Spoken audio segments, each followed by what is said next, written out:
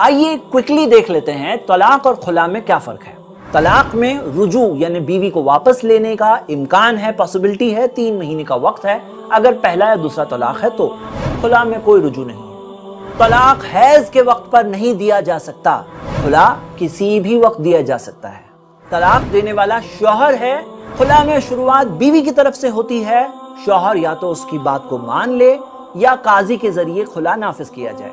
तलाक के अंदर इद्दत तीन हैज़ की है खुला के अंदर इद्दत एक हैज़, एक मेंसेस आने तक है। तलाक के अंदर बीवी महर वापस नहीं देगी, वो महर उसका है, महर हो, हदिये हो, कुछ भी वापस नहीं देगी खुला के अंदर बीवी महर वापस दे देगी। लेकिन अगर शोहर कहे, नहीं चाहिए मुझे, रखो आप ही तो कोई बात नहीं। लेकिन अहम सवाल, क्या तलाक के अंदर जो तीन की लिमिट है वो तीन की लिमिट के अंदर खुला भी शामिल होगा या नहीं होगा?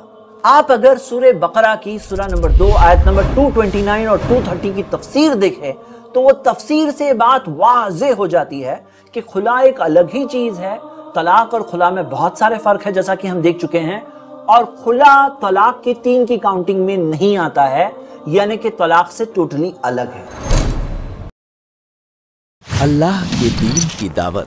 और लोगों तक पहुँचाने के लिए इस वीडियो को ज़रूर लाइक, शेयर, कमेंट और सब्सक्राइब करें। आपके इस चैनल को और बेहतर बनाने के लिए आपका साथ ज़रूरी है। आई प्लस टीवी, बेहतर ज़िंदगी के लिए।